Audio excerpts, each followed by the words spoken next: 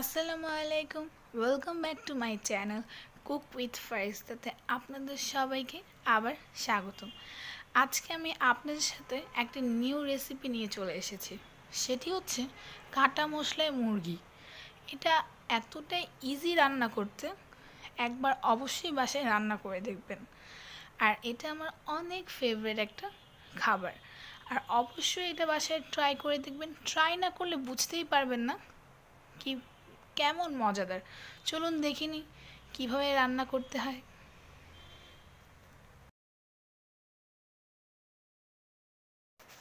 এখানে আমি একটি আস্ত মুরগি নিয়ে নিয়েছি, একদম ছোট ছোট টুকরা করে। আর এখানে আমি টক দইকে ভালো করে ফেটিয়ে নিয়েছি, এক কাপ পরিমাণে টক দই নিয়েছি আমি। এখন আমি এখানে এক চা চামচ পরিমাণ আদা বাটা দিব আর পেঁয়াজ বাটা হাফ কাপ থেকে অর্ধেক পেঁয়াজ বাটা দিব। বলতে গেলে এরপর এখন আমি এখানে স্বাদ মতো লবণ দিব। লবণ আপনারা আপনাদের স্বাদ অনুযায়ী দিবেন। এরপরে আমি এখানে এটাকে ভালো করে মাখি, মেখে নিব।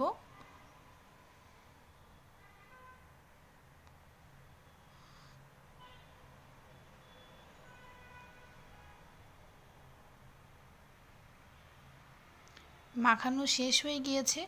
এখন আমি এটাকে প্রায় এক ঘণ্টার জন্য র্যাপ করে ফ্রিজে রেখে দিব।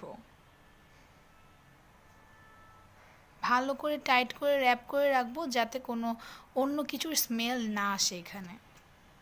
রান্না করতে যা যা লাগবে।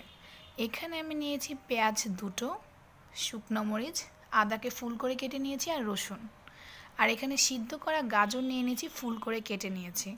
একটি পাত্রে আমি এখানে চার টেবিল চামচ পরিমাণে তেল দিয়ে নিয়েছি। আর এখানে আমি দিয়ে নিচ্ছি দারচিনি, তেজপাতা আর এলাচি।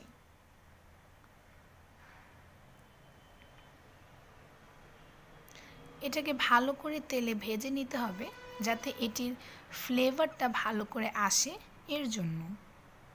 তো আমি এটাকে তেলে ভালো করে ভেজে নিচ্ছি। এরপরে আমি এখানে পেঁয়াজ কুচিটা দিয়ে কতক্ষণ ভাজবো। এরপর আমি পেঁয়াজ কুচির সাথে আমি আদা কুচি, আদাকে ফুল করে কেটে নিতে হবে। আর সঙ্গে থাকা শুকনো মরিচ আর তার সাথে থাকা রসুন কুচিটাও ভালো, দিয়ে ভালো করে ভেজে নিতে হবে। এই যে সবগুলো দিয়ে আমি ভালো করে ভেজে নিয়েছি আর সিদ্ধ করা গাজরটা দিয়েও ভালো করে ভেজে নিচ্ছি। এগুলোকে ভালো করে ভেজে নিতে হবে।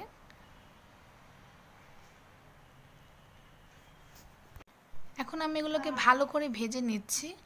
একদম ভালো করে ভেজে নিতে হবে যাতে ভালো করে আদা, রসুনটা সিদ্ধ হয় এর জন্য। এখন কিছুক্ষণ পর আমি এটাকে আরও ভালো করে ভেজে নিয়েছি। এখন আমি এক ঘণ্টার জন্য যে মাংসটিকে ম্যারিনেট করে রেখেছিলাম, সেটাকে আমি দিয়ে দিচ্ছি। ম্যারিনেট করে মাংসটাকে রাখার পর এখন আমাকে এটা ভালো করে ভাজতে হবে, আই মিন কষিয়ে নিতে হবে, যাতে মশলাটা প্রপারভাবে কুক হয় আর যাতে খেতে অনেক ভালো লাগে। আর মাংসটা যাতে সিদ্ধ হয়, এর জন্য এখন আমি কোনো পানি ব্যবহার করছি না। এটাকে ভালো করে কষানোর জন্য আমি প্রায় দশ থেকে বিশ মিনিট এটাকে আমি ভালো করে কষাবো।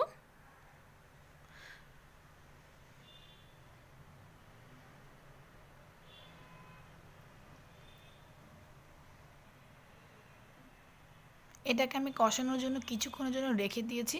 কিছুক্ষণ পর আমরা এটাকে আবার দেখব। প্রায় পনেরো মিনিট পর আমি এখানে এক কাপ গরম পানি দিয়ে এটাকে ভালো করে সিদ্ধ করব। আর আপনারা দেখতেই পাচ্ছেন, কষানোর ফলে আমার অর্ধেক মাংস সিদ্ধ হয়ে গিয়েছে। তাই এর জন্য বেশি পানি এখানে ব্যবহার করব না। আর আমি লবণ আমার স্বাদ অনুযায়ী দিয়ে দিয়েছি।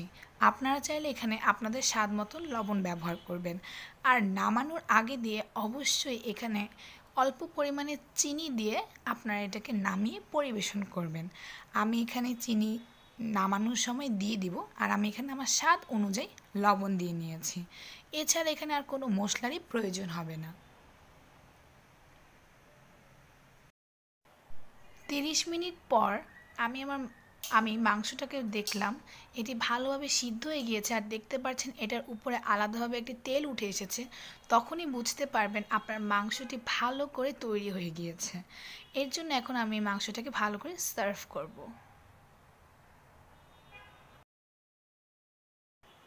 আমি এটাকে একটি বলে সার্ভ করে নিয়েছি। এখন এটা পারফেক্টভাবে তৈরি হয়ে গিয়েছে। আমি বলব অবশ্যই এটা আপনারা গরম পোলাও কিংবা পরোটা দিয়েও খেয়ে দেখতে পারেন। সকালের নাস্তায় কিংবা রাতে আপনারা যে কোনো সময়টাকে সার্ভ করতে পারেন। আর আমার আজকের ভিডিওটি যদি আপনাদের কাছে ভালো লেগে থাকে, তো অবশ্যই আমার চ্যানেলটিতে সাবস্ক্রাইব করবেন। আর আপনারা দেখতে পেরেছেন যে এখানে বেশি কোনো মশলারই প্রয়োজন হয়নি। বলতে গেলে এটি খুবই হেলদি একটি খাবার। আর যারা ডায়েট করেন, তারাও কিন্তু এই খাবারটি অবশ্যই তৈরি করতে পারেন। আজকের জন্য এখানেই বিদায় নিচ্ছি। আল্লাহ হাফেজ।